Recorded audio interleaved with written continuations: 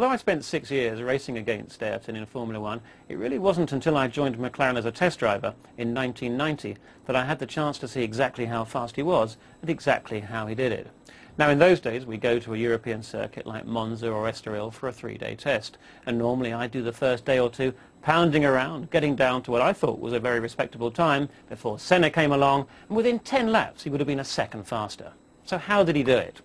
Looking at the pictures it's hard to see. But if we look at data recording showing just how the driver is using the controls, examples of Senna's technique can be seen. Looking first at braking into a corner, the blue line shows me braking. Compare this with the red line of Ayrton, clearly showing that here he doesn't brake as hard or for as long. The result is that he's going faster into the corner. On acceleration out of the corner, Senna's unique technique is equally obvious. Whereas I would progressively increase the throttle opening, Ayrton would immediately start stabbing at it, pushing to get his foot hard down earlier, and therefore exit faster too.